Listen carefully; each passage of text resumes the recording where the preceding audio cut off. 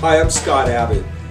Today I'm going to show you how to make a bodybuilding sandwich that consists of ingredients that are not typically considered as bodybuilding or fitness sandwich ingredients simply because a lot of people shy away from peanut butter as a main ingredient in anything because of its high fat content.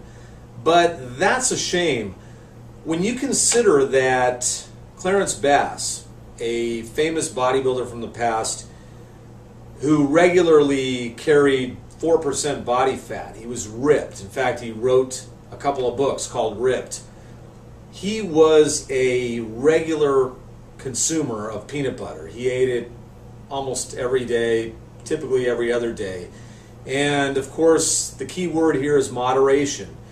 It is calorie dense, so you have to eat it in moderation, and that's what I'm going to show you here how to combine it with some whey protein in such a way that you end up with the famous chocolate peanut butter combination. Remember Reese's peanut butter cups? You had the commercials.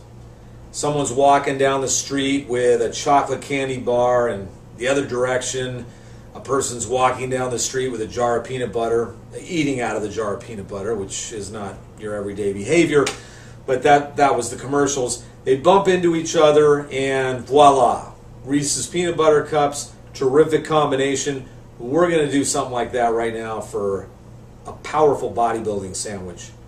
Okay, so what we have here is old fashioned peanut butter. You want to stay away from the sugary peanut butters. We're not wanting to add any sugar to this sandwich. So I've got Laura Scudder's old fashioned peanut butter, no sugar added. And I'm going to start out just making a peanut butter sandwich here with Russian rye bread by Oroweat. This is 70 calories per slice and it's good stuff. I also put it on dill rye sometimes, so you can use that or any type of rye bread that you like or any type of bread you like for that matter. But I think rye is a great bodybuilding bread. And so we're looking for two tablespoons of the peanut butter. So let's go ahead and get that on there. And we're going to go for a couple of level tablespoons.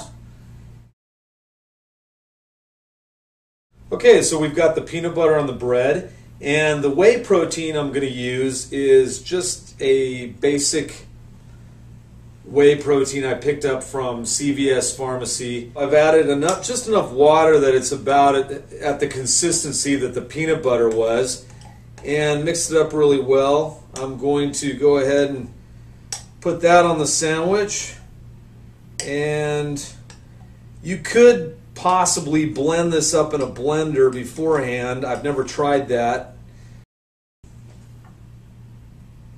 There you go. So there we have it, our peanut butter chocolate whey protein on rye sandwich. It's a little bit chewy. However, those of you who are not lactose intolerant can chase this down with a big cold glass of milk. You're going to love that. I prefer chasing it with a hot black cup of coffee. Uh, breaks up the peanut butter and chocolate, and also the combination of coffee and chocolate flavor. You know, you can't beat that. So this breaks down to about 460 calories. It's a 30 30 40 split among protein, carbohydrate, and fat. You got 30% protein, 30% carbohydrate, and 40% dietary fat. I would not eat this sandwich before sitting in front of the computer for three hours. Probably something I would only eat prior to going to the gym and working out or engaging in other calorie burning activity outdoors. Uh, that would be my recommendation. But you will enjoy this if you try it, and I highly recommend it.